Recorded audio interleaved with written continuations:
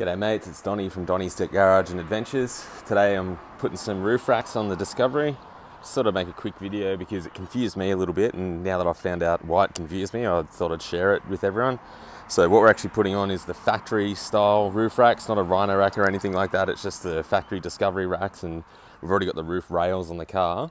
Um, so I'm just going to show you some of the things to pay attention to when you do this. Righto, one of the strange things that you'll find is this little tool here. If you actually look at it, it's actually got a um, 9 newton meter mark on it. So there we go, just getting it out of the shade. So what this is for is actually when you're tightening these, these ones have already been done, so don't really need to worry too much about it. But what you should be able to do is see on the top, we're out of line.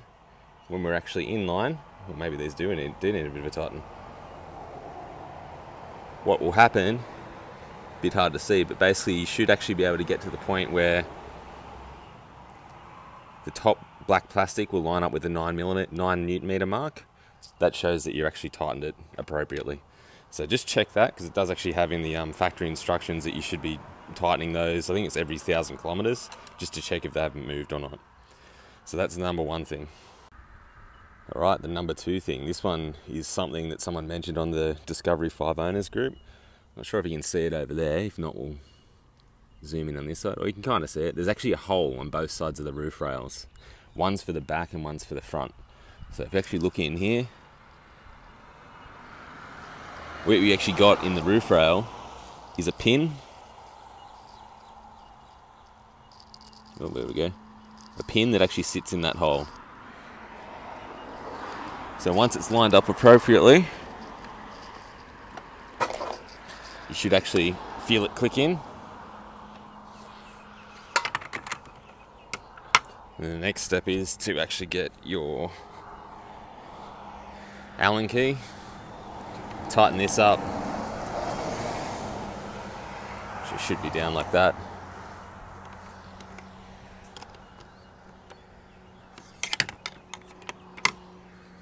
Bit hard when you got one hand. But basically you should be tightening this up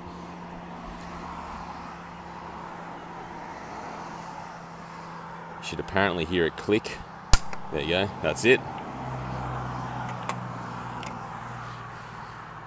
Do the same on the other side, and then you put your, don't have the key on me at the moment, but you get the idea. Put the key out and then put that down. So do the same on both sides. Now, one thing I forgot to show everyone is before you actually do that, on the back of your roof rail, roof rack, roof bar, whatever you want to call them, is done it the wrong way around, but anyway, you'll notice that there's actually a mark that says whether it's the front of the car or the other one will have an arrow going towards the back. Make sure you use the right one because as far as I can tell, they're actually a slightly different size. So if you're having trouble fitting them, this is likely why, is you've actually got them the wrong way around. So yeah, that's um, that's all I wanted to make a video about is just make sure that if you're using the factory roof rails, there is actually a locating point for where they're meant to sit. It's that little hole that's inside the rack. Make sure that lines up make sure you've torqued everything up properly. Um, yeah, so that's it. Just remember as well, guys, you can actually get the, um, the instructions on the Land Rover accessories website that'll actually explain to you how this is all meant to work. So if you're having any trouble, I'll see if I can find the link and I'll chuck it in the video description below so everyone can have a look at it. But hopefully this helps someone out. Cheers. Make sure you subscribe, hit the bell, get notified, and see all the great videos. I like I say great, but you know, funny, exciting, entertaining videos that we make. Cheers.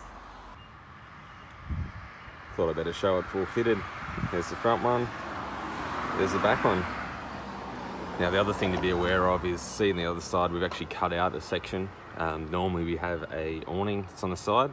So if you have done that, make sure you obviously put that the way that you would like it to go to make sure that you're going to um, be able to put your awning on.